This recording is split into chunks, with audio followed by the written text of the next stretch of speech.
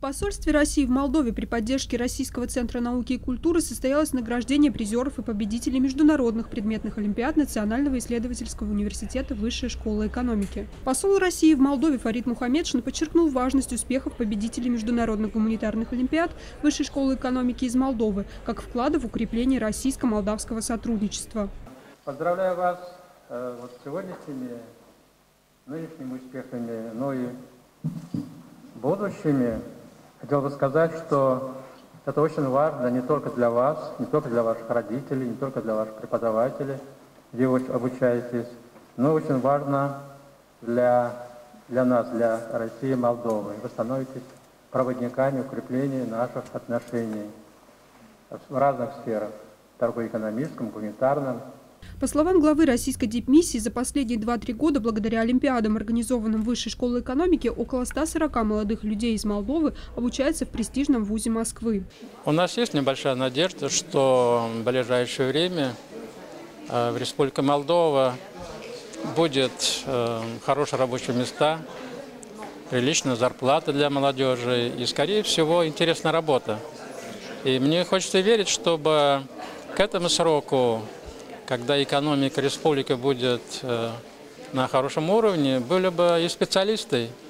Их в один день не подготовить, поэтому мне хотелось бы, чтобы молодежь, которая в России, там, в Румынии, неважно, где они обучаются, получив хорошее образование, возвращались бы э, для того, чтобы развивать свою страну, свою республику, свою экономику. Очень люблю людей неординарных, людей, которые ставят перед собой необычные цели, а очень высокие планку поднимают, высокие планы, высокие мечты.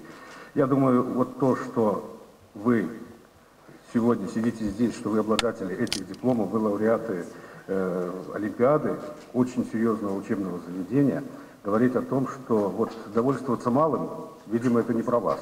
Директор по развитию сотрудничества со странами СНГ и Балтии Высшей школы экономики Татьяна Четвертина отметила высокий уровень подготовки молдавских школьников. Межкультурные связи, они начинаются на стадии, кстати говоря, проведения Олимпиад. Когда э, дети общаются и пишут одни и те же задания, которые обсуждают эти задания, когда дети представлены не только, допустим, даже в одной стране, они могут представителями быть разной национальности и разного места проживания.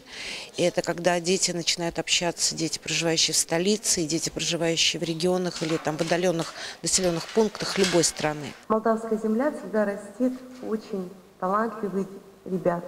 Я знаю, что вот представители лицея имени Пушкина учатся в высшей школе экономики, достойно учатся. И если вы будете делать свой срез, то вы увидите, что наши ребята э, оправдывают те дипломы и те олимпиады, те результаты, которые они получили в результате тестирований. В Олимпиадах Высшей школы экономики приняли участие школьники старших классов. Некоторые из них удостоены призовых мест сразу в нескольких конкурсах. Высшую пробу получили 6 молдавских лицеистов.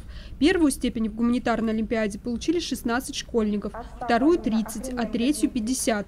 Среди лауреатов представители всех регионов Молдовы. Благодаря участию в этих Олимпиадах я смог стать участником многопрофильной школы при Высшей школе экономики в Москве.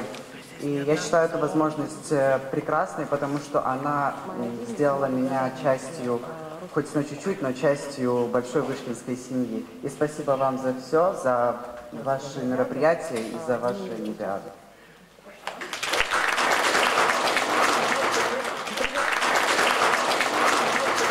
Победа в Олимпиадах гарантирует поступление на бюджетное отделение факультета, который выберет абитуриент на основе результатов по тем или иным предметам.